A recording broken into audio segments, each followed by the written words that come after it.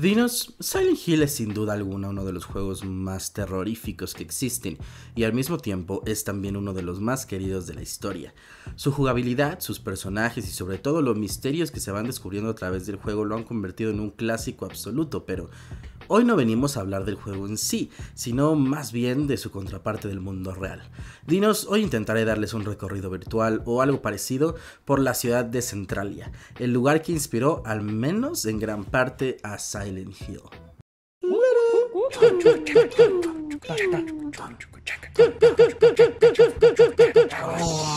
Dinos agrios.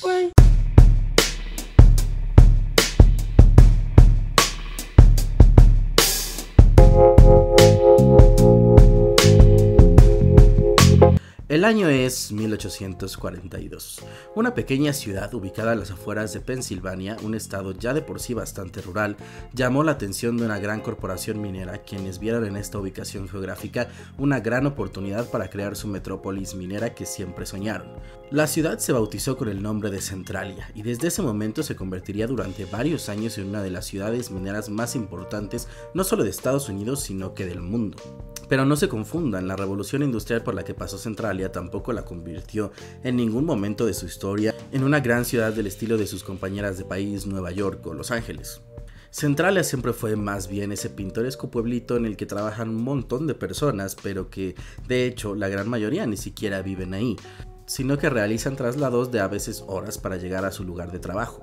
Centralia era un pueblo olvidado, pero bajo sus tierras se encontraba una inmensa veta de antracita, de lejos el carbón de mayor calidad y más valorado en el mercado por su alto índice calorífico.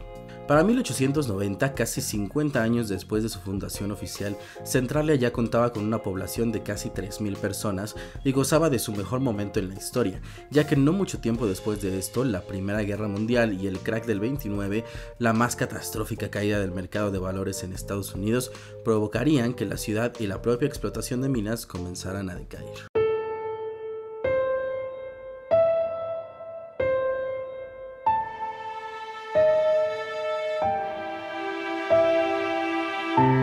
Ya en el siglo XX, Centralia no hizo más que seguir decayendo, y para 1960 era considerada una ciudad prácticamente al borde del desastre absoluto. Centralia mantenía una extremadamente módica población de mil habitantes, números bastante bajos incluso para la época, pero su baja densidad poblacional no era un impedimento para tener sus propios problemas como ciudad, los cuales eran quizás menos importante la explotación ilegal de las minas y el más importante y que llevaría a su ruina total, la utilización de los pozos mineros abandonados como basurero improvisado. Recordemos que estamos en los 60 y en ese tiempo la conciencia ecológica era prácticamente nula, por lo que no estaba tan mal visto como hoy en día deshacerse de la basura mediante incendios controlados. Recordemos que justamente lo que hacía Centralia un lugar especial era su inmensa cantidad de carbono con un alto índice calorífico, o sea, fácil de incendiar. Cualquier persona pensaría que quemar desechos en esta ciudad y aún más en las minas tal vez no sería la mejor de las ideas, pero debemos recordar que muchas veces la estupidez humana supera cualquier expectativa. Así que sí, justamente eso hicieron, y no una, sino muchas, muchas, muchas veces. Hasta que un 27 de mayo de 1962 los desechos fueron quemados como era el protocolo y posteriormente apagados por el equipo de bomberos. Sin embargo, esta vez, dos días después, las llamas volvieron a aparecer.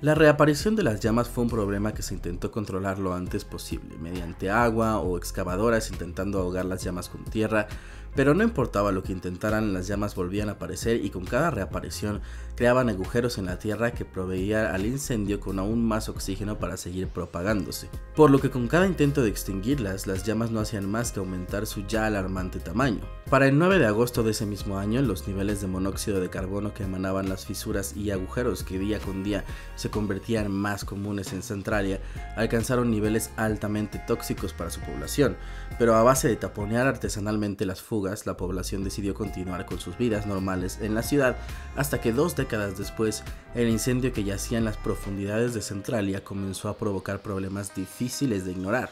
como el caso en el que un agujero repentinamente terminó con la vida de un niño que jugaba en un parque de la ciudad. En 1983, el gobierno de Estados Unidos ofreció un plan de escape, comprar la mayoría de las propiedades de los habitantes de Centralia a cambio de que se relocalizaran en otra de las poblaciones aledañas. Menos de 10 familias decidieron quedarse en el pueblo, sin embargo, eventualmente cuando fallecieron inevitablemente, el gobierno se apoderó de las propiedades y aprobó su demolición. Acto seguido, el único camino que dirigía a la ya extinta Centralia fue cubierto con montañas de tierra para evitar que la gente pudiera acceder con automóviles a la ahora ciudad abandonada, plagada de grietas y nubes tóxicas.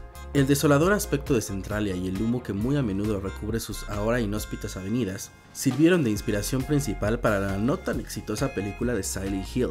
Solo que en este caso el infierno de Centralia es algo muy real, al que podemos asomarnos a través de los testimonios de quienes lo vivieron. Este es un sitio en el que ningún humano podría vivir, más caliente que el planeta Mercurio y con una atmósfera tan venenosa como la de Saturno. En el corazón del incendio, las temperaturas fácilmente sobrepasan los 540 grados. Nubes letales de monóxido de carbono y otros gases creaban remolinos a través de las cámaras rocosas. Ex habitante de Centralia.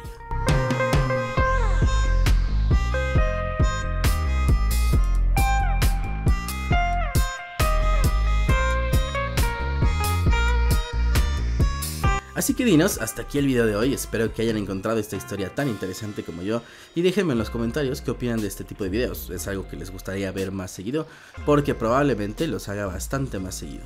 Muchas gracias por llegar a este punto del video y recuerden que su suscripción y su like son la mejor forma de apoyarnos a seguir haciendo contenido para ustedes. Así que nada, dinos, nos vemos en un próximo video, no se extingan, adiós.